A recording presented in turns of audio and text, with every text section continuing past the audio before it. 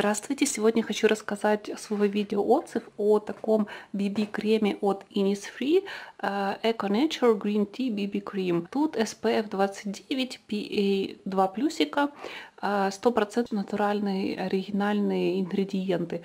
Извините за такой вид, но я использовала до конца эту тубу, то есть, если видите, а, цвет вот такой вот был. А, но что могу сказать? Э, во-первых, очень классно, что тут очень хороший состав. А, действительно, я проверяла на экоголике состав, и он шикарный. То есть э, в этом большой плюс. Плюс для меня это то, что это ЛДПЕ четверочка, то есть я могу это сдать на переработку у нас, и это тоже прикольно. Классно, что SPF 29, да, это не 50, но все-таки эта защита есть, и PA 2 плюса тоже неплохо. Э, правда, э, тут нужно обратить внимание, что тут 40 мл, а не 50, как всегда, ну, в большинстве случаев BB-крема изготовляют. А, но негатив, конечно, в том, что тут все по-корейски, да, это корейский продукт, я согласна, но имеем то, что имеем. Что могу сказать? Этот BB-крем мне, в принципе, понравился, но, а, если честно, я ожидала чуть от него другого эффекта. У меня комбинированная кожа, и как раз вот зимой э, было им приятно пользоваться. А, он такой создавал эффект на коже, такой чуть-чуть влажный, то есть, ну, не знаю, как это объяснить, не сияющая, именно такая влажная была а, кожа, и мне кажется, что он хорошо подойдет более лучше для сухой а, и для нормальной кожи. Ну, для комбинированной, в принципе, он подойдет на зиму, но вот в осенний или в весенний период, то мне кажется, что он а, такой чуть-чуть, как вам сказать, такой двигающийся, грубо говоря, на лице. То есть я видела, когда я прикладывала телефон к щеке, а, на сенсорном экране оставались такие отпечатки этого крема, и у него покрытие не сильное. То есть это нужно понимать. То есть прыщики вы им не э, замажете, но сделаете такой как бы эффект лица э, выровненного, то есть это тоже классный эффект.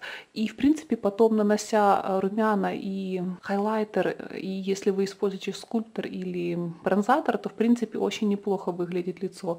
А, но под конец я его даже чуть-чуть смешивала с другим BB-кремом, который был чуть-чуть темный для меня как бы, в принципе, я его добила. Я не знаю, возможно, я еще его закажу, но только на период, именно когда холод, тогда он хорошо себя проявляет. Или, возможно, нужно было еще его припудривать. Я просто не сильно люблю такой большой ком вот этих слоев на своем лице, то есть и крем а, дневной, и биби-крем, и сверху еще пудра, я этого не совсем понимаю, то есть а, ну, для меня это слишком много всего на коже. А, но, как вам сказать, я бы ему 4 поставила, мне кажется. То есть классная упаковка, классный состав. И не фри, то есть это хороший производитель, это не что-то там а непонятно что.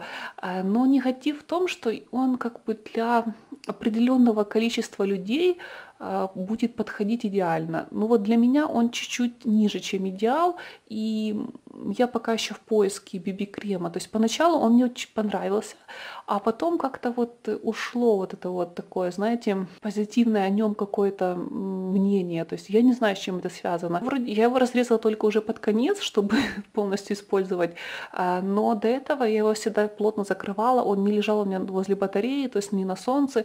То есть я умею правильно хранить косметику, косметику.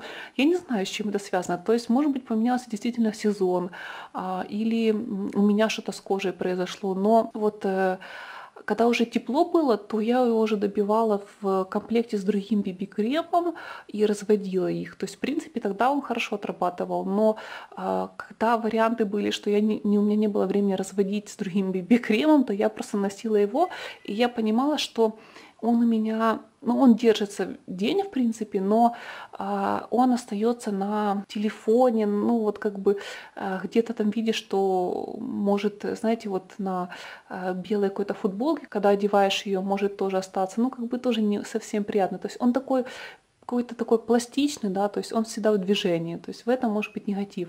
Но, конечно, состав э, классный.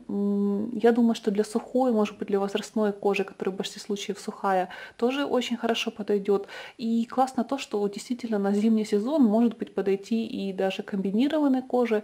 Не знаю насчет жирной, тут нужно понимать.